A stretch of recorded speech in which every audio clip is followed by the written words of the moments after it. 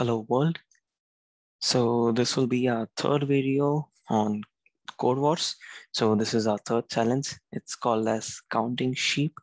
So let's just see what this is about. Uh, consider an array list of sheep where some sheep may be missing from their place.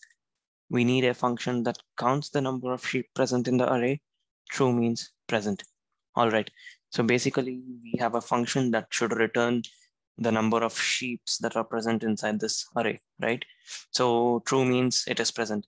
So what we need would be a loop that will travel through this array and check if that particular item is true or false. Uh, if it is true, then we say that the sheep is present. If it is false, then it, we say that the sheep isn't present. So at the end of the day, the correct answer would be 17 for this given input, right? So there are 17 true values, I assume, and they have a hint over here. Don't forget to check for bad values like null or undefined. All right. So we have an input, which is an array of sheeps, right? Uh, and its values are Boolean in nature. And we need to output number of sheeps present in the array. And because this function does the counting, we need a variable that counts, right? So here is what we are going to do. First, we are let us declare a variable called as count, which is initialized to zero at the moment. Then we need to travel through the array, right? We need to go through this array and check for each and every value. So what we need to do is um, for, say, for example, let i is equal to zero, i is less than array of sheep dot length because we need to travel through all the items inside the array and array dot length gives us the number of items that are present inside the array. And i plus plus. Again if you want the explanation in more detail i believe the first video i've covered what exactly we are doing while traveling through an array, you can check that out if you want. Uh, so here I'm just trying to solve the problem, right? So moving on, if we need to check if uh, the given particular value is true or false, right? So if the current item, so if array of sheep of i equal to equal to true, so if it is present is what we are trying to say, right?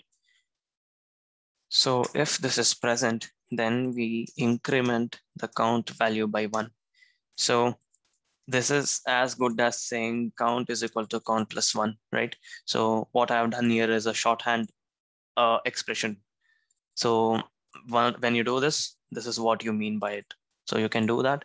And then after you count that, you then return the count value, right? So let's just check this if this works yeah, I'm just going to remove these comments so that it is going to look a bit cleaner. Uh, let this be here. And it should still work fine, right? Because comments are obviously skipped by your program. So yeah, this was pretty easy, pretty straightforward video, like nothing complicated. All you're doing is traveling through this array, checking if the value is true or false. I mean, basically you're actually checking for only true values because uh, here, if it is true, then the sheep is present, right? If it is false, what happens if it is false? I mean, we haven't told the computer to do anything explicitly, right? So what the compiler does is if it encounters false, or as they have told, or as they have mentioned over here, right? If it is null or undefined. So if it encounters false or null or undefined, then it will just neglect these video, I mean, these uh, values, right? Like it doesn't know what to do. So it will just throw it out, right? So we don't need to explicitly check for those, but you can do it like you can have an if statement and you can check for those values.